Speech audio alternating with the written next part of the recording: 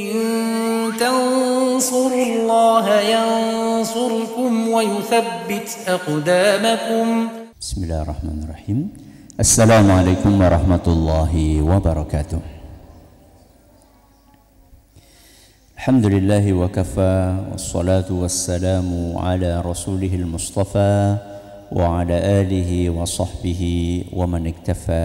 أما بعد Jamaah salat zuhur Masjid Manarul Ilmi rahimani wa rahimakumullah. Hari ini kita kembali membaca kitab Al-Adabul Mufrad yang ditulis oleh Imam Al-Bukhari rahimahullah. Kita akan membaca bab baru yaitu bab nomor 187 yang judulnya Cinta seseorang kepada kaumnya. Apa judulnya? Cinta seseorang kepada kaumnya. Apa yang dimaksud dengan kaum di sini? Yang dimaksud dengan kaum di sini adalah semacam kabilah, suku, kerabat, masyarakat satu kompleks. Itu yang dimaksud dengan kaum. Jadi di dalam agama kita, apakah kita ini boleh mencintai orang yang sesuku dengan kita. Kalau sekarang yang lebih besar eh, cakupannya orang yang senegara dengan kita. Cinta yang dibangun di atas kesukuan, kekabilahan, kemasyarakatan ini diperbolehkan atau tidak di dalam agama kita. Ini adalah kira-kira kandungan dari bab ini. Mari kita lihat hadis yang beliau bawakan yaitu hadis nomor 300 96 dari seorang perawi yang bernama Fusailah. Siapa namanya? Fusailah rahimahallah. Fusailah rahimahallah. Beliau bercerita, "Sami'tu abi yaqul" Pada suatu hari aku mendengar ayahku bercerita. Jadi Fusailah ini menceritakan tentang sebuah kejadian yang dialami oleh ayahnya. Yaqulu qultu ya Rasulullah, ayahnya Fusailah ini pernah bertanya kepada Rasulullah sallallahu alaihi wasallam. Apa isi pertanyaannya? Ya Rasulullah, aminal asabiyyati an yu'ina rajulu qaumahu ala zulmin? Apakah termasuk fanatisme. Apakah termasuk fanatisme? Ketika ada seseorang membantu kaumnya dalam sebuah perbuatan zalim dalam sebuah perbuatan zalim. Jadi kita punya suku, suku ini melakukan perbuatan zalim kepada suku yang lainnya.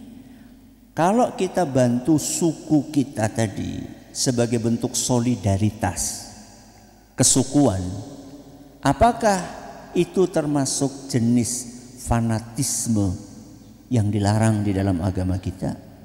Maka Nabi SAW mengatakan na'am. Apa jawabnya? Iya. Berarti boleh atau tidak? Hah? Kok boleh? Boleh atau tidak? Membantu suku berbuat zalim. Boleh? Tadi katanya boleh. Tidak boleh. Tidak boleh.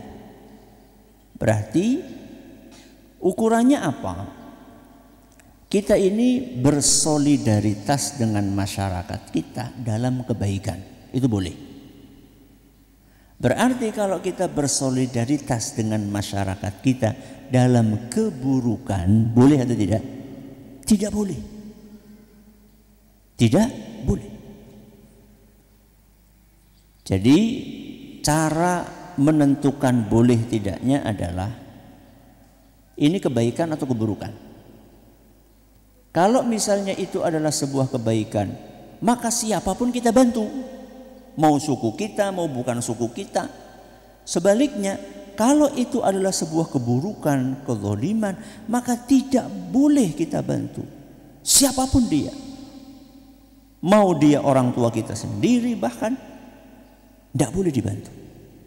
Jadi inti dari apa yang disampaikan di dalam hadis ini adalah mencintai suku kita tidak masalah. Yang penting dalam kebaikan. Tapi kalau cinta dan solidaritasnya itu dalam keburukan, maka hukumnya haram dan tidak boleh. Hadis ini dhaif. Hadis ini dhaif. Akan tetapi inti kandungannya ada di dalam hadis lain yang diriwayatkan oleh Imam Bukhari di mana Rasulullah SAW bersabda unsur akhaka zaliman au matluma bantulah saudaramu. Saat dia dizolimi atau ketika dia menzolimi. Kalau dizolimi jelas kita tolong. Kalau dia selagi menzolimi maka kita bantu dengan kita cegah dia dari kezolimannya. Mudah-mudahan Allah berkahi ilmu yang kita pelajari Terima kasih. Kita lanjutkan insya Allah. Subhanakallahumma wa bihamdika. Asyhadu an la ilaha illa anta. Astaghfiruka wa atubu ilaik. Assalamualaikum warahmatullahi wabarakatuh.